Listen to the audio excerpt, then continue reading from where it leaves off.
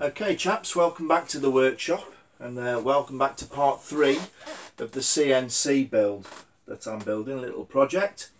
Um, what I'm going to do today is just show you briefly how to assemble the Y carriageway onto this uh, Y extrusion here. Um, I've got all the kit that we need to do the job I think. A set of Allen keys, uh, that's the top plate, that's the bottom plate, uh, NEMA 17 stepper motor, nice little motor, uh, an array of nuts and bolts, spacers, plastic bits etc. The castellated drive belt, we'll leave that later on.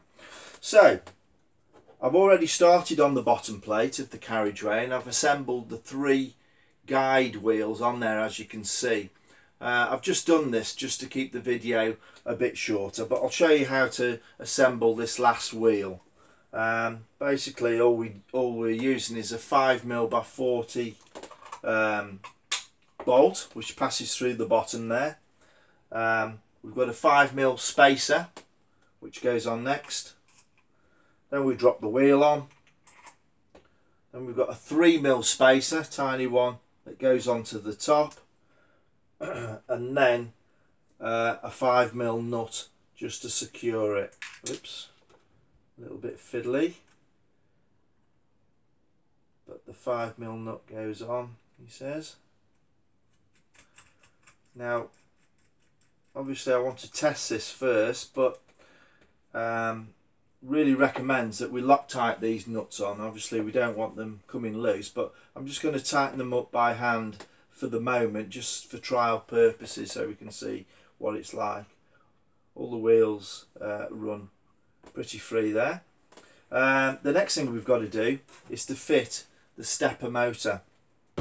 Um, make sure that you get it in the right orientation. By that I mean the plug for the, the power cable for the motor. Make sure that's going to the outside. So just pop that on the top and drop one of these small 3 mil securing screws through the top Doesn't help when you've got big fat fingers like I have. Just leave it slack at the moment. Pop the next one on. Again, we'll just we'll just put it on loosely.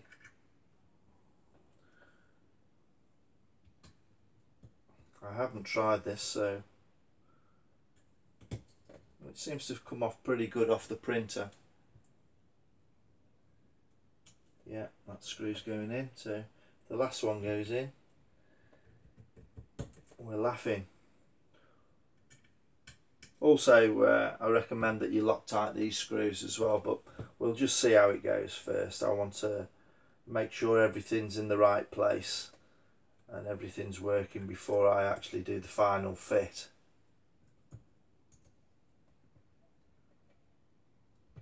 That's that. Now screws are going in pretty good.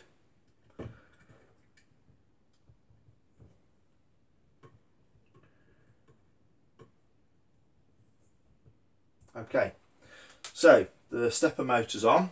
You'll notice there's a, a flat ground on the, the shaft of the stepper motor.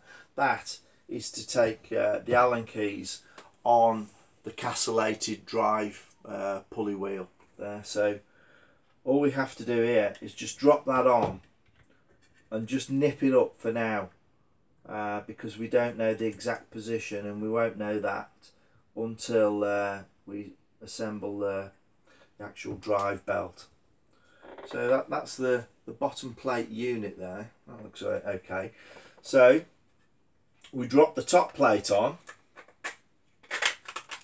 like so and we secure the top plate on with these thumb wheels there so we've got four of those we'll just spin them on we're not going to over tighten them or anything because like I say this is a, a trial assembly just to make sure that our bits do fit and they're going to do the job. I'm quite pleased with that. Also, um, this top plate is put on with the thumb wheels because when we come to store the machine, obviously when that, that's on the track and you've got the, the X 2020 section sticking out it takes up a bit of room so we've got the option of undoing those putting the plate on at 90 degrees so both rails are running parallel just to keep the space down so we can like store it under the bed or or whatever we want to do.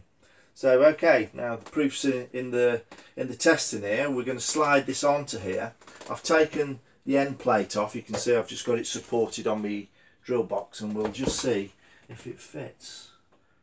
So the name of the game is we want it to fit. Oh, that's nice we want it to fit nicely so it slides like so but obviously no play in it and that feels pretty good to be fair. So I'm quite pleased with that. That goes like that. So just to give you a, picture of what it will look like with the the other bar on the other bar will be secured onto the top like this similar to that anyway. Yeah so that's looking looking something like I'm quite pleased with that uh, I'm not going to go into the video of uh, actually threading the belt through because believe you me that's going to be uh, a little bit fiddly but what I'll do is I, I will assemble it off camera and um, in part 4 video I'll uh, zoom in on it so you can actually see how the belt's fitted, where it goes and where I've threaded it round etc. So that's about it for this one lads, so I uh, hope you've enjoyed it so far. Um, if you have, obviously like and uh, subscribe if you want to see uh, the rest in the series and uh, you watch what you're doing and uh, keep safe.